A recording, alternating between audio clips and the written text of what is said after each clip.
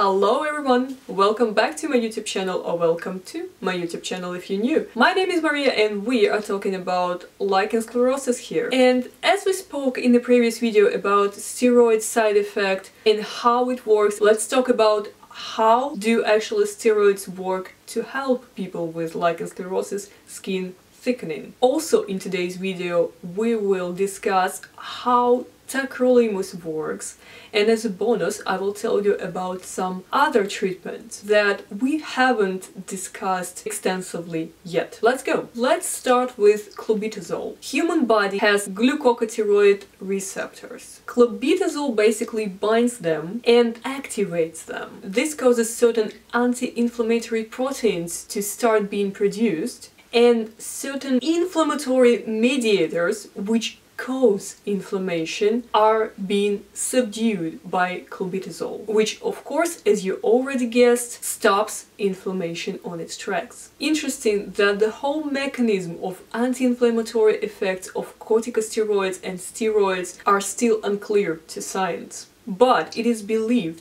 that steroids affect phospholipase A2, which is a protein that is also called lipocortin lipocortin releases arachidonic acid, which is a common cause of inflammation. Basically, corticosteroids stop phospholipase A2 from producing this acid and from causing the inflammation. Let's talk about tacrolimus now. Tacrolimus and pimecrolimus have absolutely different scheme of work. They don't affect inflammatory acids or proteins directly. What they do is affect the autoimmune disease starting mechanism. Let me just remind you that we have these T cells in our organisms, T lymphocytes, which protect us from viruses and bacteria, but also which cause us to have autoimmune diseases by attacking healthy cells and recognizing them as an anti-agent or as a harmful agent. So tacrolimus is an immune suppressant. It basically works to suppress this overreaction and overprotection against the body's own cells.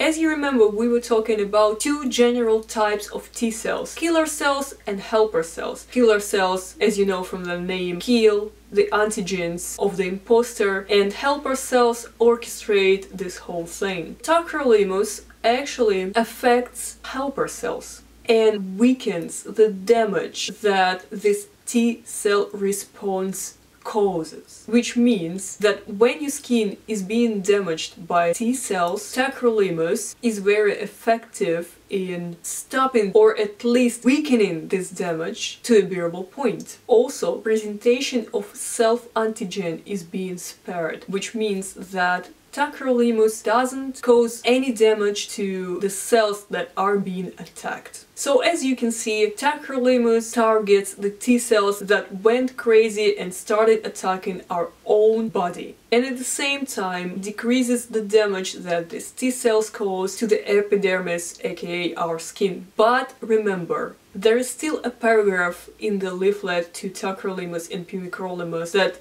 tells us about the side effects. I'm not telling you that tacrolimus is the most harmless substance in the world. You should still consult your doctor before using it. And as I promised you, I will tell you a bit more about one other option for the first stages of lichen sclerosis. And this group of medications calls topical retinoids. Retinoids are basically vitamins A and E and they help your skin to regenerate itself. Dr. Alexander Borghi from Italy reported that tretinoin 0.025% cream, which was being applied for six months on some of his patients with lichen sclerosis, could be a useful alternative for corticosteroids in case of vulvar lichen sclerosis. Tretinoin especially affected hyperkeratosis and skin pallor. He had a group of 17 patients